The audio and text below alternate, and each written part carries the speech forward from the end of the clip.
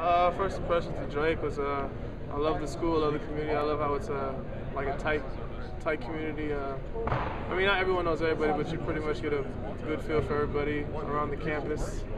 Another team. I mean, I, I love the team. We're all really close. We have a really good chemistry, We're like a family, a brotherhood. So everything's going good so far. Yeah, I mean that's one of the reasons why I came here. I know we have like eight new guys, but the five guys that came back, I met them on a visit, and they were all nice, easy, easy to talk to, easy to get along with. So, and the guys we brought in are exactly the same. So it's it was real easy to fit to jail in and fit in. Best moment probably this past weekend we went on a retreat, did a ropes course, and uh, I'm afraid of heights, so I had to really trust my teammates to help me get through that, and uh, they did, and uh, so that was definitely the best moment so far.